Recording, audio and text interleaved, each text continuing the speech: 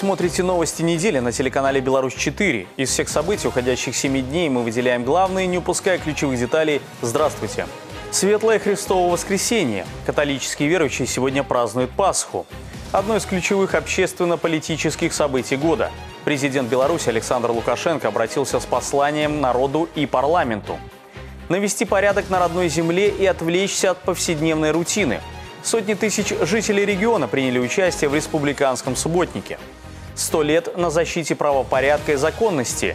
Милиция региона отметила вековой юбилей. Все подробности этих и других событий в ближайшие 26 минут. Сегодня католики отмечают Пасху. В основе праздника евангельское повествование о чудесном воскресении Иисуса Христа, распятого на кресте. Торжественные богослужения начались ночью и сегодня продолжились во всех костелах Гомельской области. В этот день служба по-особенному торжественная. Прихожане приходят в храм целыми семьями. По традиции куличи и яйца освещали накануне. Но те, кто не успел, смогли сделать это в воскресенье. Символы пасхального торжества у католиков – обновление, свет и жизнь. Обновление символизирует ключевая вода, свет – огонь свечей, а жизнь – традиционные куличи, творожные пасхи и яйца. Хочется э, делиться этой радостью прежде всего и делиться этой вестью о том, что Христос воскрес, победил смерть, победил сатану, победил грех, победил э, то, что не дает нам жить, э, все страдания. Поэтому, конечно же, прежде всего хочу просто поделиться этой благой вестью. Для человека это очень важно, знать, что я не остаюсь в этом грехе, что для меня есть милосердие, прощение, что меня любит Господь Бог. Поэтому эти слова хочу сегодня, чтобы слышали все, особенно там, где есть эти страдания, особенно там, где эти люди ждут таких слов. Это больницы, это может быть места лишения свободы. Везде, где есть страдания, где есть боль, чтобы эти слова были поддержкой для тех, кто такие переживания испытывает. Завтра для католиков начинается октава Пасхи, а потом 40 дней до Вознесения Господня. Как правило, католическая и православная церковь отмечает этот важнейший для христианского мира праздник в разное время. Связано это с 13-дневной разницей в календарях. Католики живут по Григорианскому, а православные по Юлианскому. Сегодня, в день празднования католической Пасхи, православные верующие отмечают вербное воскресенье, которое начинает Страстную неделю – Светлый праздник Пасхи они встретят следующее воскресенье, 28 апреля. 19 апреля президент Беларуси Александр Лукашенко обратился с ежегодным посланием к белорусскому народу и национальному собранию. На мероприятие, которое традиционно прошло в овальном зале Дома правительства, были приглашены высшие должностные лица страны, члены правительства, руководители органов государственного управления, крупнейших предприятий, представители дипломатического корпуса, средств массовой информации. Состоялся откровенный диалог о текущем положении дел и перспективах страны. При этом содержание послания в этом году определялось в том числе исходя из анализа обращений, поступивших накануне большого разговора с президентом. Ежегодное послание президента белорусскому народу и национальному собранию жители Гомельской области слушали в прямом теле- и радиоэфире. В открытом акционерном обществе «Гомсельмаш» незанятых на производстве работников пригласили в актовый зал. Руководители предприятия, инженеры, рабочие равнодушных нет, тем более, что глава государства говорит о самом актуальном, включая необходимость сохранения и поддержки крупных промышленных предприятий. Для Гомсельмаша это особенно важно. Глава государства неоднократно это отмечал, что безусловно, должны присутствовать э, принципы равной конкуренции без каких-либо искусственных барьеров и преград. Вот этот момент очень важен для нашего предприятия, исходя из тех соображений, что порядка 90% нашей продукции – это экспорт. Э, поэтому эти моменты, они определяющие. Это благосостояние наших работников, это благосостояние жителей нашего города и нашей страны в целом. Избранный курс на построение IT-страны в Беларуси остается не неизменным. Главное не сбавлять набранных темпов роста и не отстать от насущих потребностей экономики. Об этом президент Беларуси Александр Лукашенко также говорит в послании белорусскому народу и национальному собранию. Для открытого акционерного общества «Гомсельмаш» IT-технологии – это основа дальнейшего развития, иначе жесткую конкуренцию просто не выдержать. На предприятиях сейчас у нас внедряются все новые и новые технологии, и не за горами тот момент, когда будут у нас многие специальности с приставкой IT. Вот поэтому я думаю, что для наших учебных заведений сейчас очень важно подготавливать специалистов в сфере высоких технологий, потому что за молодежью у нас будущее. О необходимости подготовки специалистов IT-сферы в этот день говорят и в Гомельском государственном университете имени Франциска Скорины. Сегодня его выпускники работают во всех крупных IT-компаниях страны. Сейчас вот как раз э, студенты будут изучать технологию блокчейн, Э, вот. После речи президента можно сказать, что действительно цифровая экономика в Беларуси будет построена. Для этого есть предпосылки. Сегодня в Гомельском государственном университете имени Франциска Скорины обучаются около 9 тысяч студентов. Работают почти 600 преподавателей, в том числе 33 профессора и 45 докторов наук. Для того, чтобы трансляцию послания посмотрело как можно большее число человек, она проходит одновременно в нескольких аудиториях. Президент обратил внимание на суверенный статус Беларуси, о необходимости сохранения нашего суверенного статуса, о нашей многовекторной политике и наших внешнеполитических приоритетах, которые неизменно всегда остаются для Республики Беларусь. Это а, наше интеграционное образование, союзное государство Беларуси и России, ЕАЭС – СНГ, взаимодействие с Евросоюзом. Особое внимание проблеме трудоустройства, в том числе людей с ограниченными возможностями. В Беларуси существует несколько соответствующих программ, но сегодня необходимо искать новые подходы. Важно и желание самих руководителей заниматься этим. Слова президента об этой проблеме внимательно слушают в областном общественном объединении инвалидов-спинальников. Здесь хорошо знают о реальной ситуации. Говорят, что трудоустройство – это высшая ступень социальной реабилитации людей с ограниченными возможностями, но речь должна идти о комплексном подходе. Создать э, условия безбарьерной среды на том предприятии, на котором он будет работать. Потому что иногда директору проще отказать, чем перестроить э, пол завода э, инфраструктуру для того, чтобы этот человек там находился и находился в комфортных условиях. Поэтому это большая задача ну, которую нужно решать. Сохранить суверенитет, мир, спокойную, созидательную жизнь на своей земле – наша святая обязанность. Чтобы выполнить эту подаренную нам судьбой историческую миссию, мы должны окончательно осознать свое национальное единство, отметил глава государства. Вместе граждане создают современную историю белорусского народа и в год 25-летия Конституции могут с уверенностью констатировать – Беларусь, как независимое государство, состоялась. Мы находились под пристальным вниманием мирового сообщества.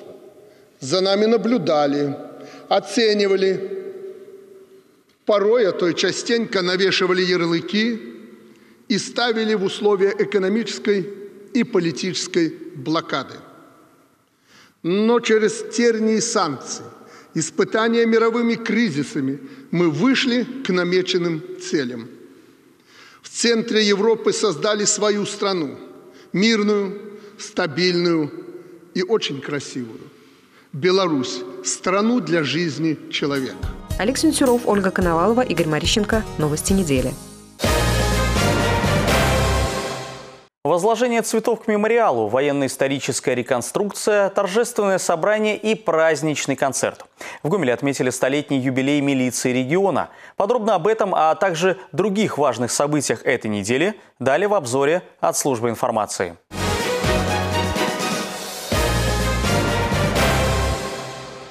Торжества в честь столетия образования Управления внутренних дел Гомельского облсполкома продолжались два дня. 17 апреля в УВД открылся обновленный историко-демонстрационный зал. В нем разместили тысячи экспонатов, отражающих путь развития службы. Фотографии, форма, документы и артефакты. Буквально через час после открытия экспозиции торжества продолжились в колонном зале Дворца Румянцевых и Паскевичей. Здесь начальник управления внутренних дел Александр Васильев вручил награды лучшим сотрудникам службы. За высокие достижения в оперативно-служебной деятельности награды получили 50 человек. Торжественная программа следующего дня открылась церемонией возложения цветов к мемориальному знаку милиционерам, погибшим при исполнении служебного долга. Расположенный рядом с управлением внутренних дел памятник – символ верности сотрудников внутренних дел своему народу. Продолжились мероприятия на привокзальной площади. Здесь военно-историческое клубное объединение «Честь мундира» представило реконструкцию под названием «Дело банды Гавриленко». Группировка действовала в Кармянском, Будокошелевском и Журавичском районах в конце 40-х годов прошлого века. В результате сложной работы сотрудников милиции преступное формирование обезвредили, а 15 ее участников осудили. И последний аккорд мероприятий – торжественное собрание и праздничный театрализованный концерт.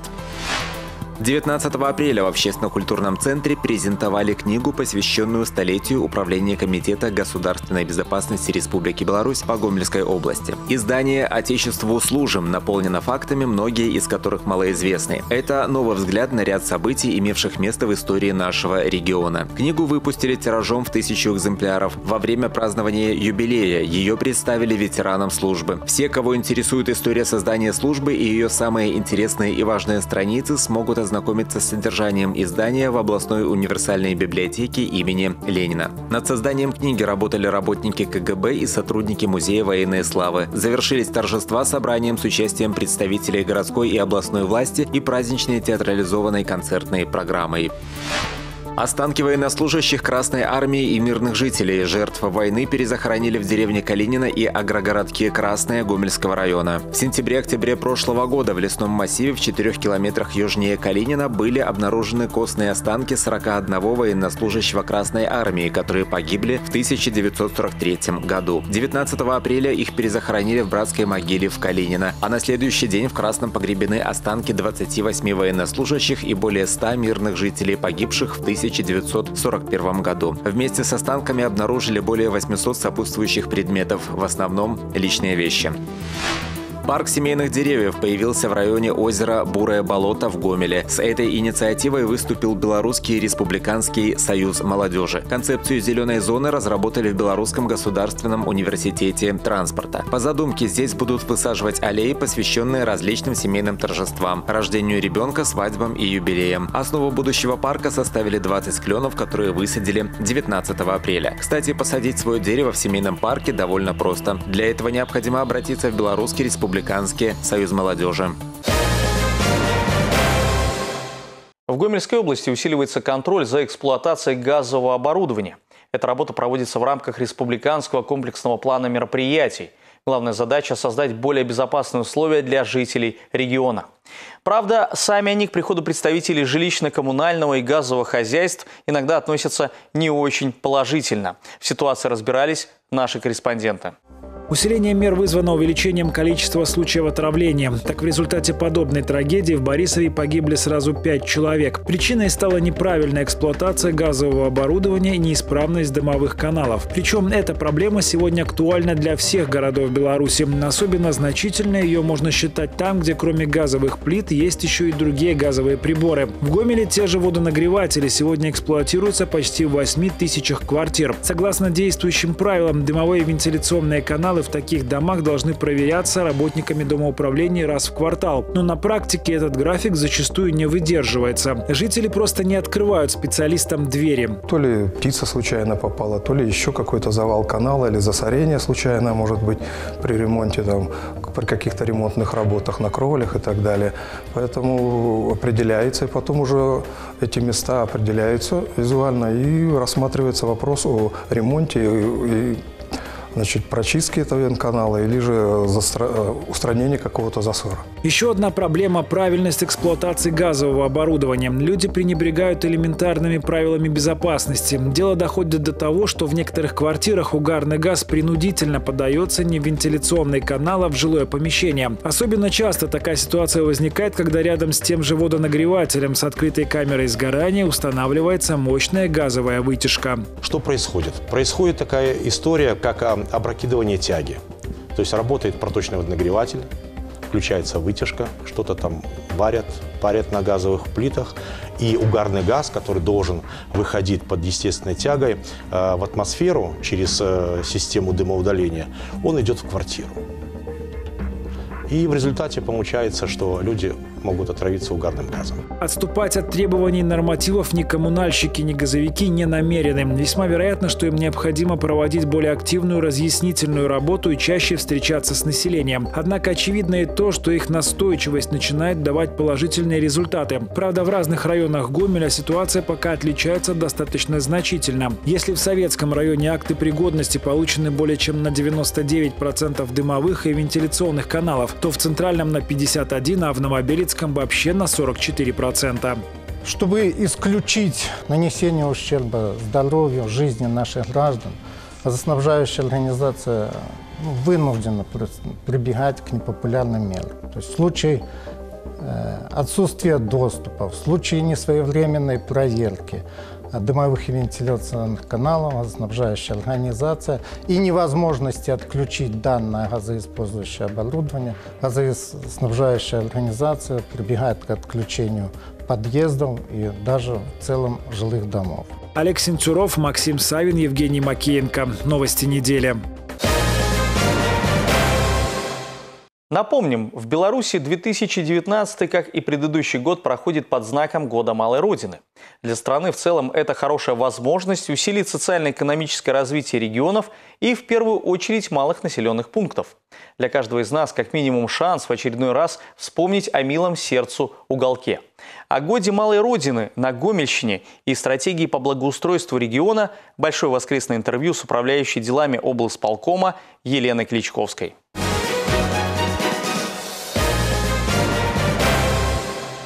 Эти три года в Беларуси проходят под эгидой «Малой Родины». Елена Владимировна, насколько плодотворным э, в этом плане оказался 2018 Что ждет нас в 2019 э, Совершенно верно. 2018 оказался очень плодотворным, но он явился продолжением той комплексной работы, которую Гомельская область проводит.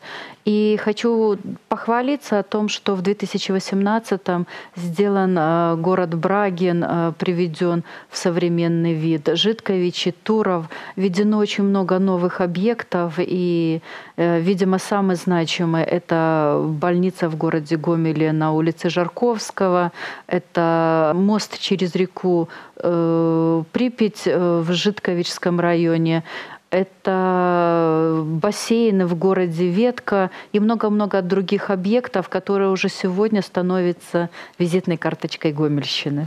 Вообще, особенно гости, да и местные жители часто отмечают вот этот хозяйский подход, который чувствуется и в крупных населенных пунктах, и даже в небольших деревушках. Возможно, потому Гомельщина признанный лидер по благоустройству в стране. Хочу сказать, что это благодаря тому, что 8 лет назад была определена концепция развития нашей Гомельщины. А, мы каждый год целенаправленно все денежные средства направляем на ремонт двух районных центров. А, и постепенно с этим идем. Сегодня уже 12 районных центров имеют современный вид. Это Лоя, Ветка, Житковичи, э, Брагин, э, Ельск, э, Чечерск, Будокошелева и сам город Гомель. Вы видите, он каждый год приобретает и набирает обороты. Сегодня это уже другой современный город, который был когда-то. В планах на 2019 Петриков э, и Мозырь. А, Совершенно верно. Мы продолжаем эту работу, и в 2019 году по поручению президента Республики Беларусь Александра Григорьевича будет э, приведен в такое же соответствие город Петриков, и мы начинаем благоустраивать город Мозырь, но в связи с тем, что большие города требуют э, больших финансовых затрат, эта работа будет проводиться комплексно и в течение нескольких лет. Но по выходу мы хотим, чтобы Мозырь который интересен своей архитектурной формой, который знаменит своими оврагами и который в Беларуси считается маленькой Швейцарией, будет по-настоящему Швейцарией. А теперь информация для скептиков. А, а, Все-таки речь идет не только о благоустройстве центральных улиц и площадей. Совершенно верно. Когда приходим в город, а, мы делаем комплексно всю работу, начиная с водопроводов, канализаций, различных сетей, электрических электрических, газовых, улиц, э, не только центральных, но и прилегающих к центральным, площадей, э, захватывается весь объем э, жилищного строительства. И при том вот вся социальная сфера, которая там находится, все больницы, все школы, все детские сады, дома культуры, кинотеатры, вот это всегда сто процентов идет и приобретает новый вид. Государство вкладывало и вкладывает огромные суммы, да и силы в сферу благоустройства. И все-таки, а что с каждого из нас? А, это, наверное, будет самый яркий пример. Посмотрите, ведь мы а, в прошлом году сделали более 280 дворовых территорий в целом по Гомельской области. А, город Гомель для себя взял, допустим, такой э, так скажем, финиш каждый год делать каждой администрации не менее 20 дворовых территорий. Но их могло бы быть больше, если бы население еще более активно подключилось. Сегодня наша задача привлечь к э, обустройству дворовых территорий не только бюджет, но и деньги э, тех людей, которые там находятся. Поверьте, что если человек вкладывает свою копеечку в каждый Э, элемент двора, э, он тогда более бережно к нему относится. Точно так же, если папа с сыном посадил дерево, то, поверьте, этот сын его никогда уже не сломает и не выкопает, а будет вместе с папой поливать, и оно украсит наш двор. А пока у нас будет иждивенческое вот такое потребление э, тех благ, которые им дают, поверьте, очень сложно это сохранить. Мы начали с вами разговор о том, что 2018, 2019 и 2020 объявлены президентом годом Малой Родины. Скажите, а вот э, вам лично э, удалось побывать на Малой Родине? Как часто там бываете? Какой э, она для вас э, является сегодня? Я э, сельский житель. Моя малая родина — это Гомельщина. Но если говорить о самой маленькой родине, это, конечно, Калинковичский район, деревня Дудичи. И хочу сказать, что всегда приезжая к маме, а, свой дом мы стараемся его обустроить. В прошлом году там поставили новый забор, калиточку, вороты. А, всегда высаживаем с мамой цветы вокруг дома. И, конечно, в силу своей занятости я очень мало этому уделяю время и себя за это постоянно корю. Но а, когда приезжаю туда и вижу элементы благоустройства, которые вот местное население вместе с председателем сельского совета делают, там какая-то чашечка, маленькая форма появилась на э, повороте, э, ко мне на улицу, э, какой-то велосипед интересный с корзинкой для цветов, другие малая форма. Это настолько украшает и настолько, э, я думаю, что э, тает сердце у любого приезжающего в этот населенный пункт. Это вот какую-то преподносит душевность каждому человеку. Поэтому всегда с любовью, всегда с радостью. Это вот то, что понимаете, нельзя не любить, каким бы оно ни было. Действительно, год Малой Родины – хорошая возможность для каждого из нас вспомнить и побывать э, в дорогих сердцу уголках. Э, Елена Владимировна, спасибо за интервью. Успехов в делах и до спасибо встречи Спасибо вам большое. Ухаживать за городами и поселками, как за родным домом. Сотни тысяч жителей области приняли участие в республиканском субботнике. В этот день в свои родные края приехали те, кто по долгу службы покинул города и деревни, где прошли детство и юность. О желании присоединиться к общему делу заявили трудовые коллективы, общественные организации, молодежь. Все подробности у Марины Джалой. Главная задача субботника любого уровня – районного, областного или республиканского – наведение порядка на земле. В Хойниках своеобразным центром проведения субботника стал городской парк. Он был заложен еще в конце 19 века. В 2010-м во время подготовки к Дню белорусской письменности аварийные деревья спилили, но некоторое более чем столетнее насаждение здесь можно увидеть и сейчас. Заместитель главы администрации президента Владимир Живняк на свою малую родину приехал вместе с помощником президента, инспектором по Гомельской области области Юрием Шулейко и заместителем председателя Гомельского облсполкома Владимиром Приваловым. На своей малой родине он бывает достаточно часто и всегда с удовольствием принимает участие в проводимых здесь мероприятиях, в том числе субботниках. С трепетом и радостью еду на малую родину, скажу вам честно. Э, в этом году мне так посчастливилось, что уже третий раз я приезжаю на малую родину. Э, второй субботник. И я скажу, что это очень здорово.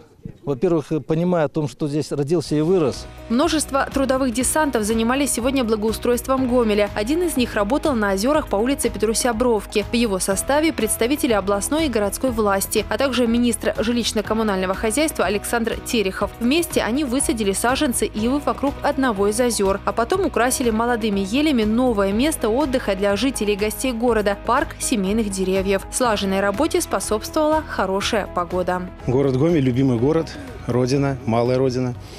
Сегодня все члены правительства, высшее руководство страны разъехались по своим уголкам, где они родились, для того, чтобы внести свой вклад в развитие нашей страны, благоустроенность, повышение уровня благоустроенности. И самое главное – это сегодня озеленение.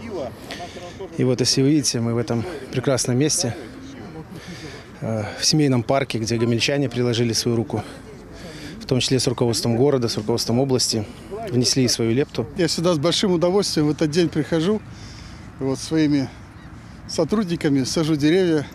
Не потому, что это вот, ну так, положено. На самом деле это очень увлекательно. И главное, это очень полезно и красиво. Поэтому то, что мы, вот этот почин, который есть у нас уже, ну еще и наши родители это все э, начинание затевали. И оно сегодня продолжается, и активно участвуют в этом горожане. Ну, на мой взгляд, это и здорово, и очень дорогого стоит. Потому что посмотрите, сколько людей сегодня вышло.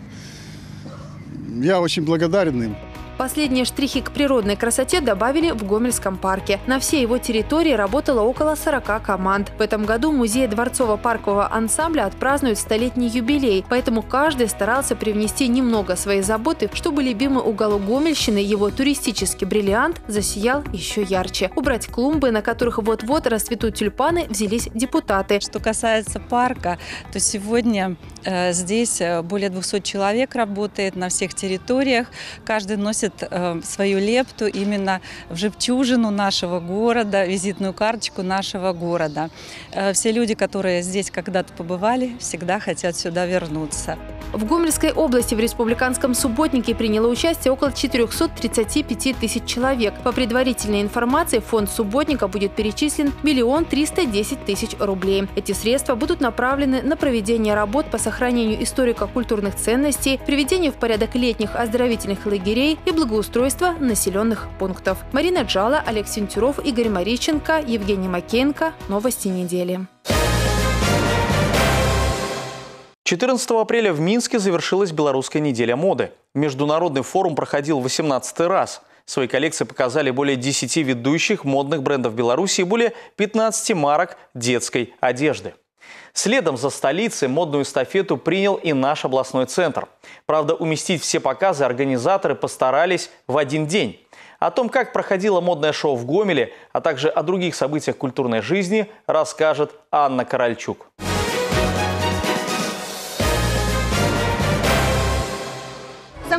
И дерзким культурным событием этой недели стало Гомель Fashion Show. Первый фестиваль моды и стиля собрал здесь дизайнеров, стилистов, фотографов и, конечно, блогеров. Мы не могли пропустить такое действие. Идемте посмотрим, что на подиуме.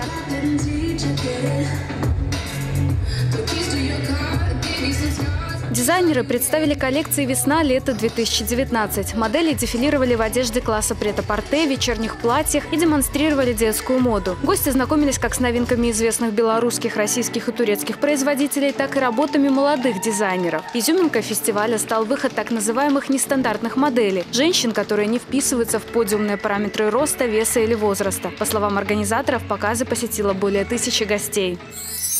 На гастроли в Гомель приезжал Гродненский областной драматический театр. Гостей принимали в стенах городского молодежного театра. Заслуженный коллектив Республики Беларусь показал четыре постановки. Детский спектакль «Слоненок луна», трагикомедию «Очень простая история», антиутопию 451 по Фаренгейту и свою последнюю премьеру – комедию «Секс, любовь и налоги». Кстати, гомельский коллектив поедет в Гродно с ответным визитом. Обменные гастроли запланированы на сентябрь.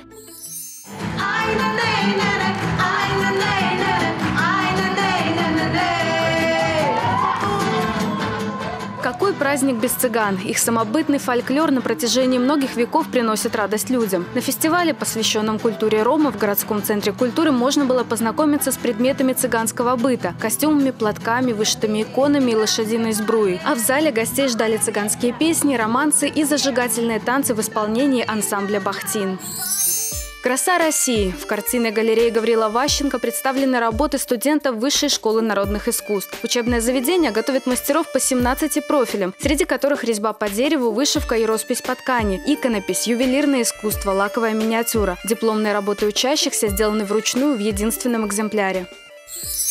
А в областном центре народного творчества открылась выставка икон Дмитрия Салмыгина «Светлый образ». Работы стилизованы под старину и словно излучают свет, а лики святых кажутся живыми. Дмитрий родом из Смоленска, имеет профессиональное художественное образование. К иконописи обратился в 95 году, позже познакомился с традицией ветковских мастеров. Кроме реставрации и написания икон, он также оформляет церкви и храмы.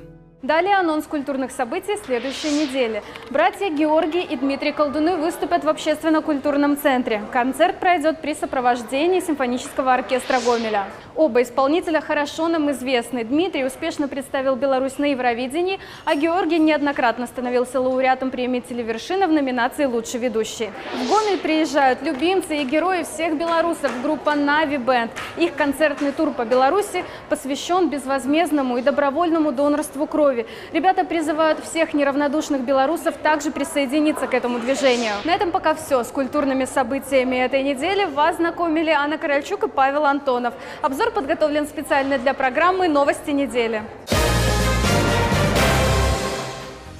На этом у меня все. Мы встретимся вновь в следующее воскресенье, чтобы вместе подвести итоги недели. До свидания.